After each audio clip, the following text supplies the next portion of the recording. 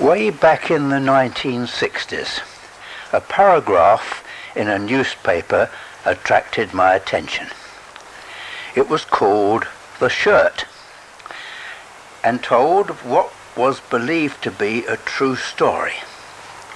I was so intrigued by the implications of that story that my imagination got to work and I started writing. The result was a script for a play which I submitted to the BBC. They rejected it, presumably because they thought it rather sentimental. So I'm trying it out on you in the belief that you are sentimental enough and patient enough to listen. Originally it was written to be performed by several characters, but I've had to rearrange it as a narrative. I want you to imagine the days of depression after the First World War. And imagine a street of very small terraced houses with no front gardens. There's the house of Mrs. Rogers.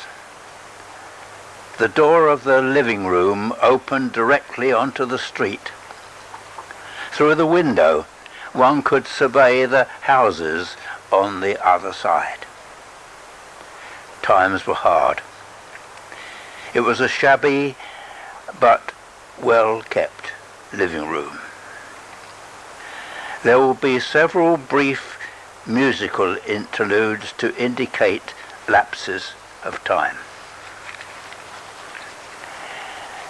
Mrs. Rogers is counting some money, which he kept in a cup.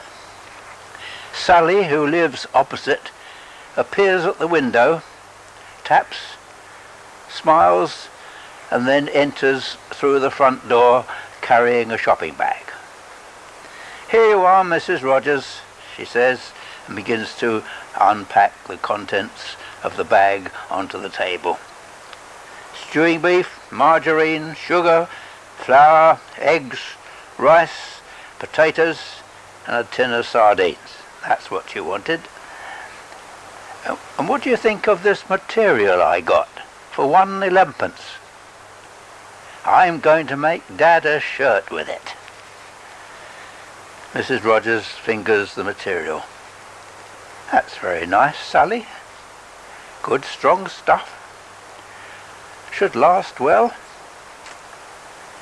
Oh dear, it's about time Bert had another shirt. He's only got one decent one now. I've been patching the rest for months. Well, you can have this material if you like, offered Sally. I can go along and get some more tomorrow. They've got plenty at the shop. Thanks, Sally, said Mrs. Rogers. But we can't manage it while he's got no job. She hesitates as she fingers the material again. No, his shirt must wait. What do I owe you for the shopping? Three and sevenpence, said Sally. Just a minute, said Mrs. Rogers, and I'll get it for you. She moved to the money on the table. No, I'd better not use this. It's the coal money, and we're almost out. If I break into this, we'll have no fires, and then Bert will have something to say. Three and sevenpence, did you say, my dear? I'll get it from the other room. And so she leaves the room by a door on the left. Sally looks at photographs on the mantelpiece, the small fire, the coal money, the furniture, and she sighs and turns to the window, and she remains there till Mrs. Rogers returns. Here you are, my dear, said Mrs. Rogers, three and sevenpence. Now I'm out of debt. Good gracious, look at the time. Bert will be in any minute and no meal ready. I must get those potatoes on quick. Where's Bert now? asked Sally. Oh, I don't know where he gets to half the time. Out with some of his pals, I expect. Ron Padwick's home for three days. His ship came in on Tuesday. He's off again tomorrow morning, so I expect that's where Bert is. They were great pals from school days, always. Always together in everything. Bert missed Ron when he went to sea. I sometimes wonder if that is why he could never settle down. He seemed so moody at times after Ron had gone. They'd always been together till Ron went to sea.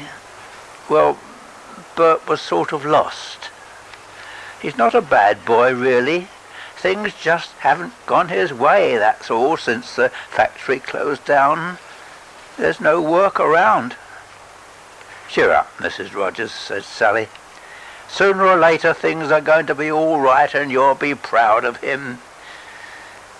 You know how I like Bert. Have done ever since I was a little girl when we used to play in the street together. He's got a lot of good in him, I know. It's bound to come out one of these days and then everything will be all right. Mrs. Rogers sighed. I hope so, Sally. But you can't live on dreams. Like this insurance policy, and she picked up an envelope. There was this man who called yesterday. He tried to persuade Bert to take out a life policy. But what's the use of a thousand pounds when you're dead?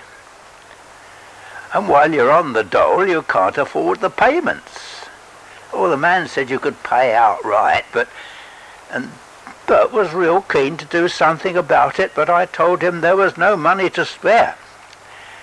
Well, I'd better get on with the cooking and I must get some of my jobs done, said Sally, and she picked up her basket. Goodbye for now. And she left through the front door. Mrs. Rogers watched her through the window, crossing the road and entering the house opposite. And she called after her, Thanks for getting the shopping for me. And she looked at the clock, which showed 6.15, and began to prepare the vegetables. As the daylight fades, she tidied the room and dealt with a pile of mending and prepared the table for a meal. Anxiously she waits for her son to return and at intervals go to the door to gaze down the street. The meal cooked, she put it on the side of the stove to keep warm. Continually looking at the clock, she picks up a pile of socks and begins darning. Wherever can he have got to, she mutters. Eight o'clock, nine o'clock, ten o'clock goes by, till at last, at ten twenty, she hears the sound of singing drawing nearer. Finally, Bert enters, obviously far from sober. Wherever have you been to all this time? asked Mrs. Rogers. Your dinner's been ready for hours. Besides, you're drunk.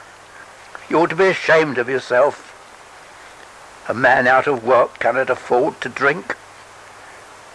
It's as much as I can do to make ends meet and keep the place decent, and you go and disgrace me like this. Sorry, Mum, said Bert. Nothing more to worry about now, Mum. Everything's going to be all right. I've got a surprise for you. I've got a job. You've got a job? Yes, I've got a job. Nothing to worry about anymore. Nobody will be able to say that I'm a burden to you. Oh, I'm glad to hear it, but, but what's the job? I'm going with Ron. I'm going to be a sailor. I'm going to sail the seas with Ron Padwick to see the wonders of the world. What do you think of that? Mrs. Rogers was obviously shaken. No, Bert. You're not going to leave home and leave me alone. Going to be a sailor, like Ron. But you might have talked about it with me before this. Oh, Bert, the drink has got to your head and you don't know what you're doing. Have some of the stew and go to bed. Your mind will be clearer after you've had some sleep. You might change your mind in the morning. Nope. Mine's made up. Final. Boat sails tomorrow. Got to leave at ten. At ten? But you can't. You've got no decent clothes to go away in. You've not got a spare shirt to take with you. That's all right. Who cares about a shirt when you're at sea? Oh, it's no good talking to you when you've got drink in you. You're just like your father was. Get on with your supper. And she pours the stew into the dish and puts it on the table. Come on, get it eaten. well, if your mind's made up, then at least I'll see that you go away decent. She looks out of the window. Sally's only just going to bed. And she takes the coal money from the cup, goes out through the street door, walks across the road. Sally opens the door wearing a dressing gown. Oh, it's you, Mrs. Rogers. Whatever is the matter? I'm sorry, my dear, said Mrs. Rogers, to fetch you down so late, but I wonder if you'd do me a favour. Oh, of course, said Sally. What is it? That shirt material you bought. Could you let me have it? Of course you can have it, Mrs. Rogers, but why the hurry? Bert has just come home and he said he's going to see He's going at ten in the morning. The shops won't be open, and I want him to go away decent. Oh no, said Sally. Surely he's not going to leave you suddenly like that. Seems his mind is set on going. I can't stop him, Sally, if he means to go. I want to do the best for him I can. All right, Mrs. Rogers, of course you can have the material. It's still on the side table where I left it. And she moved into the house and quickly returns with the package. Here it is. One and elevenpence, did you say it was? That's right, one and elevenpence. We don't have to pay now. Oh, yes. You know I don't like being in debt. I'd rather pay now and have done with it. Here you are. One shilling and sixpence, and one, two, three, four, five, that makes one and eleven. Can I help at all? asked Sally.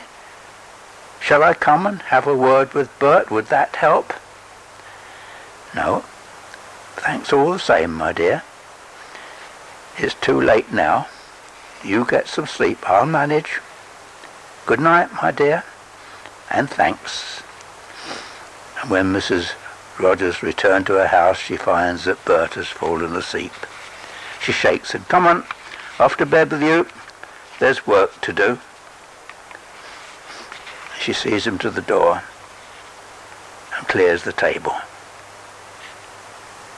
Then she takes one of Bert's old shirts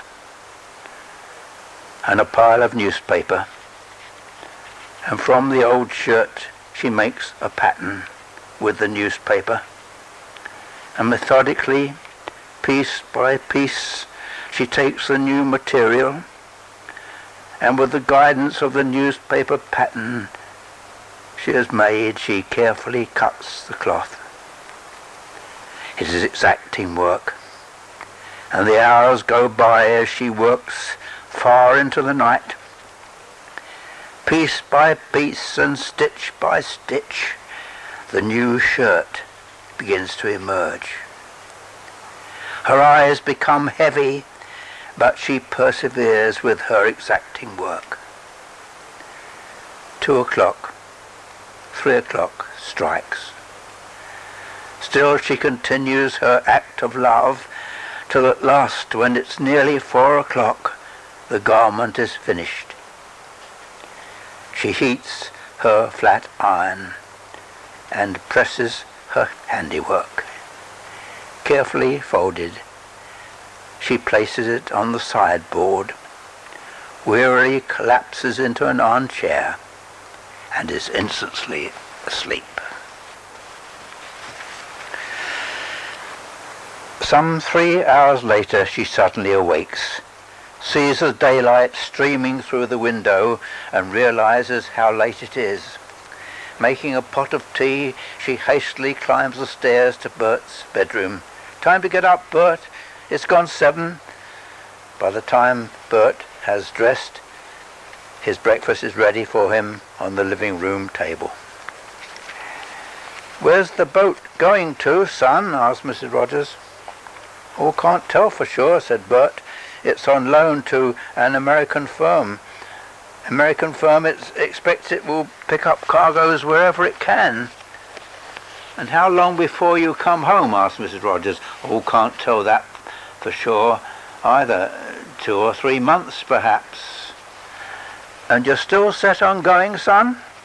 Oh, why, yes, of course it'll be sort of interesting to see the world, all the places you see pictures of in books, and it's a healthy life, Mum. And I'll be with Ron. You know I've missed him all this time. And what about Sally? asked Mrs. Rogers. She's going to miss you. Bert remained silent. And what about me? Oh, you'll be all right, Mum. Sally will look after you She's always been like a daughter to you since Dad died. You've always said so. But you've never been away from home before. I've always done my best for you. You're going to be in strange surroundings. The sea's a hard life, son. You're going to have to put up with lots of things that you're not used to. I want you to stay decent. I want you to come back the same as you go away so that I can be proud of you. Don't let anyone lead you to anything you wouldn't want me to know about. Stay good, son. There's enough bad in the world already. Be a credit to me. Here, take this with you. And she hands him the shirt. It's the best I can do. But, Mom, said Bert, if you give me more time, give me more time, I'd have given you a better shirt. But, well, no one can do more than their best, and only the best is good enough. Always remember that, wherever you are, whatever you're doing. There's a knock at the door. Mrs. Rogers opens it to admit Sally. Oh, it's you, Sally. Yes, it's me. I wondered if Bert would like to have this case to put his things in, and she offers a suitcase. I don't really need it myself. Oh, thanks, Sally, said Bert, but I hadn't thought much about packing. But do sailors have suitcases? Of course they do, said Mrs. Rogers. It's just what you need, and it's very kind of Sally to think of it. Now I must get the rest of your things together and she goes out of the room. Bert stands somewhat shyly and unsure of himself. Sally walks across to him, places her hands on his shoulders and lightly kisses him. Bert suddenly loses his reserve. Oh, Sally, I'm sorry. I never knew it would be as difficult as this. We're going to miss you, Bert, said Sally and I'm going to miss you. I'm going to remember the times we had together. Do you remember, said Sally, the day we went to Richmond? Oh, yes. And you said that if you had a thousand pounds, you would buy a house by the park. but laugh when my ship comes in. Yes, when your ship comes in. And now you're going off to seek your fortune. Perhaps one day your dreams will come true. Yes, said Burton, one day I'll buy you that house by the park. I didn't sleep all night, said Sally, thinking about you going. It's all so sudden. Your mother's going to be lonely, Bert. It's not going to be easy for her when you've gone. I know how you feel about going away, tired of doing nothing for so long, not wanting to be thought a burden, and I admire you for it, but your mother is going to feel it so. And she picks up the shirt. Just look at this. Yes, said Bert. Mum's just given it to me. Given it to you? Why, she must have stayed up all night to make it. Stayed up all night? Yes, she only had the material at 11 o'clock last night. It must have taken her hours and hours. Bert turns away and is silent for a while. Sally, I don't know much about last night. I had a few drinks, I know. Somehow I don't feel so good about going away as I did last night. I don't feel it's wrong to go. I don't mean that. It's just that, well, I don't want people to think that I'm running away. They won't think that, Bert, said Sally. I never was much good at expressing myself said Bert. It isn't running away exactly. It's sort of, well, wanting to feel that I'm doing something worthwhile with my life. Mum's always done everything for me. I want to do something for myself, stand on my own feet. Yes, I know what you mean, Bert. I want to go and sort of prove myself, show that I can do something, but I don't like leaving Mum to carry on alone. But what else can I do? There's no work to be had round here. Last night I was full of enthusiasm for going away, but now it's not so easy to go. Mum's always been so good to me, and now this shirt. He's too moved to continue for a moment.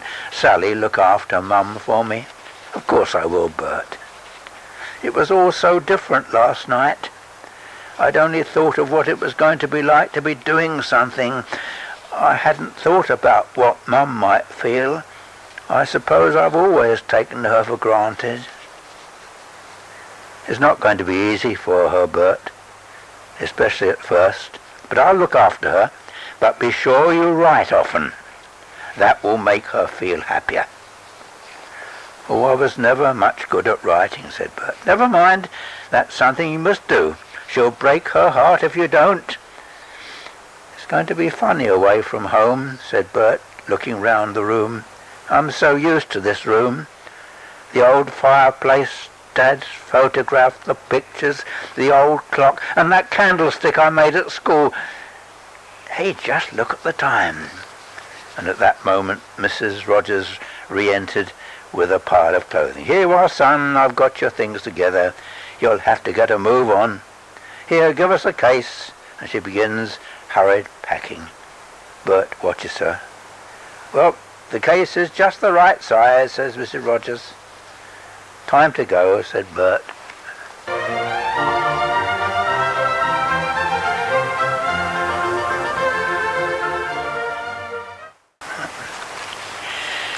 Many months have gone by. Bert has adjusted himself to life at sea. They cross the Atlantic. He wonders at the modern structures of New York and other American coastal cities, loading and unloading cargoes. He revels at the challenges of the life of a sailor. He tastes foods he's never seen in English shops and he's fascinated by the customs of people of other lands.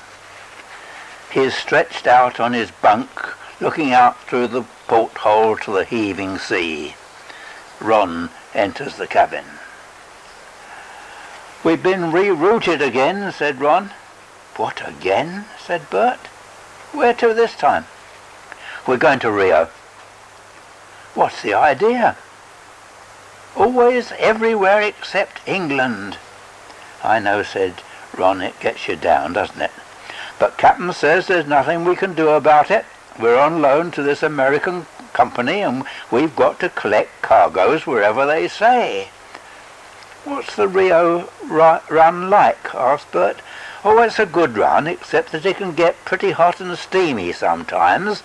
We'll put in at Belém on the way. Belém? Where's that? Oh, it's at the mouth of the Amazon. and we'll be bringing back a cargo of nuts. Oh, said Bert, we get rerouted so often I sometimes think we'll never see England again. I'd like to be there now. I bet the daffodils are out now in Richmond Park. Have you ever been to Richmond Park? Not as I remember, said Ron. Oh, it's a lovely place. If I had a thousand pounds, I'd buy a house by the park, and me and Sally would get married. We'd grow our own potatoes and vegetables. We'd have a garden at the front as well as at the back, and apple trees and plum trees. And he picks up his shirt. See this shirt? My mum made it. She stayed up all night doing it so that I'd leave home decent. Good old mum. This shirt is typical of her. Look at those buttonholes and the shape of the collar, just as good as you buy in a New York store. But she made it herself, by hand. Nothing shoddy was ever good enough for her. She had to get everything just right. Nothing was too much trouble. Always put your best work into a job, Bert, she used to say. We may be hard up, but we can still be respectable. You can still make people look up to you, however poor you are. You are as rich as your character, and friends are worth all the money in the world. If you play straight and earn the respect of people, life will bring its rewards in good time. That's what Mum was always saying. A good man has nothing to fear. Remember that, Bert, she used to say. No one can do more than his best, and only the best is good enough. She was always saying that. I've been thinking a lot lately, Ron. It's only since I've been away from home that I'm beginning to appreciate what a home is. You sort of take it for granted when you live in it every day. You go out in the morning, you get caught up in what you're doing, you have your mates, you discover new places and learn new things, and you go along and that's your life. But when you're ready, you turn round and you start walking back. Or if you've got the money, you catch a bus or tram, and, and there you are, back in the old street, back to the old door, and the scratches in the brickwork that you got a good hiding for when you were a kid. You hang your coat on the same old hook you've always used, and there are the same old chairs, the same old pictures on the wall, and there's your grub on the table the way you like it cooked, and there's Mum with her apron always there, always turning up trumps. He pauses for a moment. I wonder what she's doing now. And back at home, Mrs. Rogers is answering the door once again. Come in, Sally. I brought you these flowers, said Sally. Oh, you're a dear said Mrs. Rogers. They're so nice. Let me put them in a vase straight away. And she fetches a vase from the cupboard and arranges the flowers in the window. There, don't they look nice and fresh? They really brighten up the place. Have you heard from Bert yet? asked Sally. No, not a word. But he was never one for writing. When he had his Christmas presents, I used to have to keep on at him to write to thank his relatives, and I had a terrible job to get him to send even a few lines. Not that he was a bad boy, or a thankless boy, just forgetful, that's all. I suppose his mind was always full of other things. He was a good son, really. Used to fetch in the coal for me, and didn't mind going out for the shopping. He could put his hand to a bit of housework too, especially I was having one of my bad turns. I'll see to that, Mum, he would say. I'll go and sweep the stairs, or I'll go and do the washing up. And he'd whistle away all the time. He was a good boy, Sally. Being unemployed was getting him down towards the end. He used to sit in that chair over there and brood, and that wasn't like him. I suppose he couldn't understand why there was no work anywhere. I suppose it was the idea of not being wanted.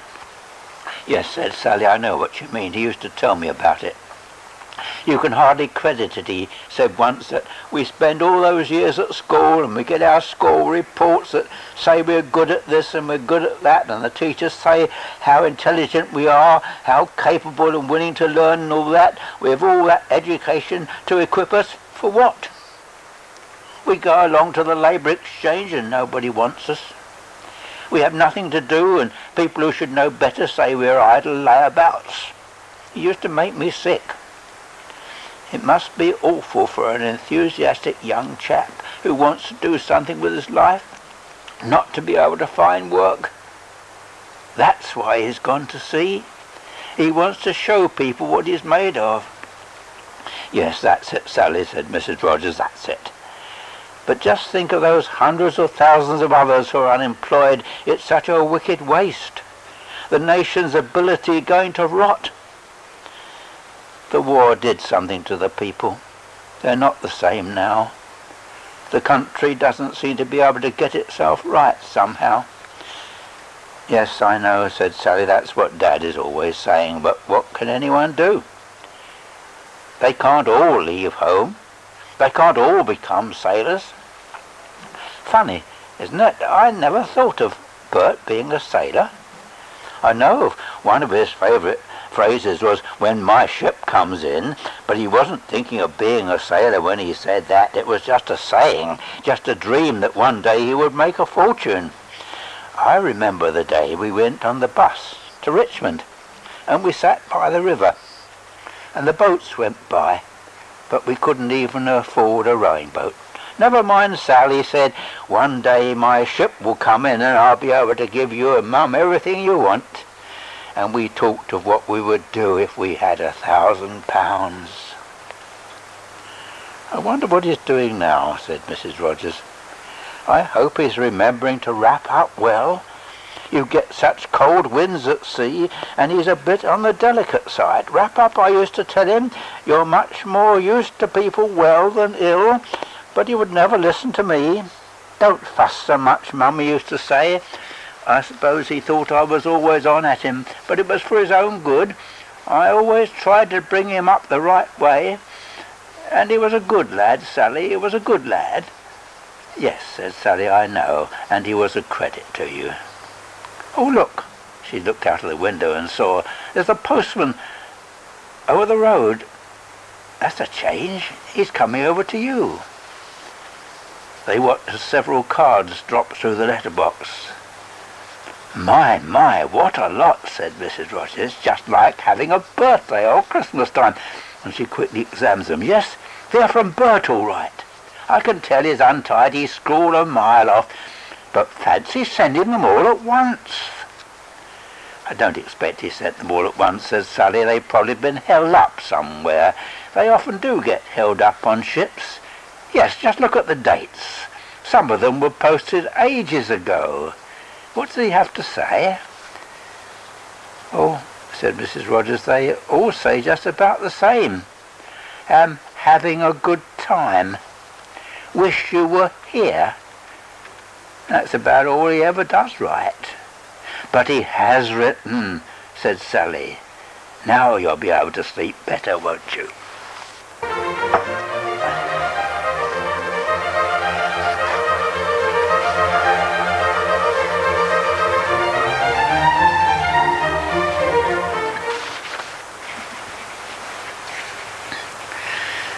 It's many months later.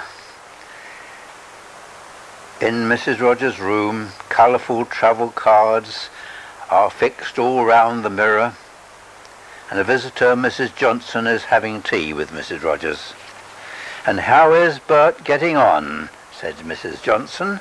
It's years since I've seen him. Oh, fine, said Mrs. Rogers. He went to sea, you know.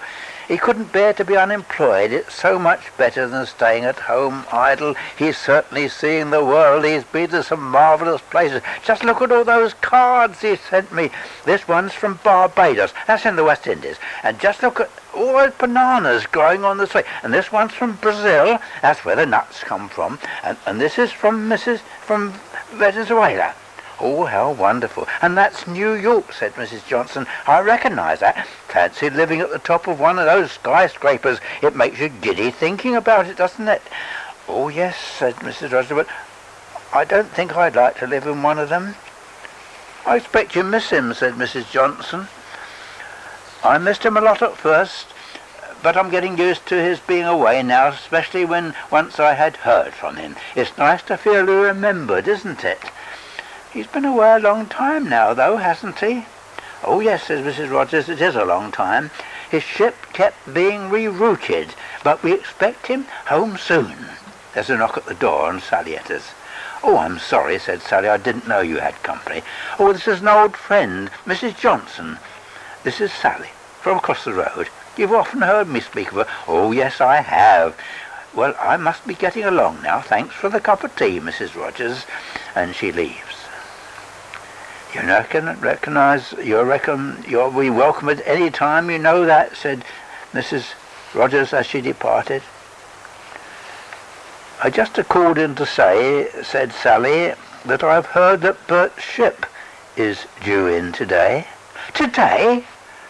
Oh dear, said Mrs. Rogers, I've got nothing in the house except some cold pie. Oh, Bert was always mad about the pie you made. I must get some vegetables done, says Mrs. Rogers. And what shall I do for a sweet? Oh, don't worry. I'll slip out and get something for you, said Sally. I made a jelly last night. You can have that. I'll get you a tin of pears or pineapple or something. Oh, but that's so expensive, said Mrs. Rogers. Ah, but this is a special celebration. Let's splash out for once. And so Sally hurries off to the shops. Mrs. Rogers busies herself about the room, puts a hot water bottle in Bert's bed and hastily dusts his bedroom, and in due course Sally returns with the shopping. Do you know when Bert's ship is expected? asked Mrs. Rogers. No, said Sally, can't be sure. It may be some time yet, or it may already be docked. Depends on the tides. Then there's the cargo to unload. All these things take time. Of course, said Mrs. Rogers, but I wish he'd written to let me know. Well, said Sally, when you're at sea, there's no postman to collect your letters. Oh, no, I hadn't thought of that. Sally is about to leave. Don't go, Sally, said Mrs. Rogers. Wait here with me till he comes. All right, said Sally. I'll just slip across the road to fetch my knitting. Dad won't mind if I leave him for a little while. And she hurries across the road, but is soon back. Mrs. Rogers notices that Sally has changed into a new dress. The hours go by as the two women wait for the arrival of Bert. It is late afternoon when slow footsteps herald the arrival of a visitor. There's a timid knock on the door. I'll go, said Sally, and she opens the door. It's Ron Padwick, and he has a parcel with him. Why, it's Sir Ron Padwick, said Sally. Afternoon, Mrs. Rogers. Afternoon, Sally, said Ron. Bert asked me to see that you have these. From Bert? said Mrs. Rogers. But why isn't he with you? He was taken sick, Mrs. Rogers, said Ron, with a bad fever. Oh, I knew it, said Mrs. Rogers. I always told him to wrap up more. He sent this letter, said Ron, and he fumbled in his pocket, and he gave an envelope to Sally. He was very sick when he wrote it. Sally hurriedly opens it and reads the message. When my ship comes in, I'll take you to Richmond. What happened, Ron? He just took sick and went into sick bay and his temperature got worse and worse and there was nothing we could do. Oh my God. says Mrs. Rogers. Then he's dead. Oh, no. She collapses into a chair, and Sally does her best to console her. And then after a while Ron spoke. He, he asked me to give you this. And Mrs. Rogers dazedly opens the parcel to receive the shirt. He never wore it, Mrs. Rogers. He says he wasn't good enough. He thought a wonderful lot of that shirt. He didn't want to wear it out. He wanted to keep it new like you made it for him. He said it would remind him of you as long as he lived.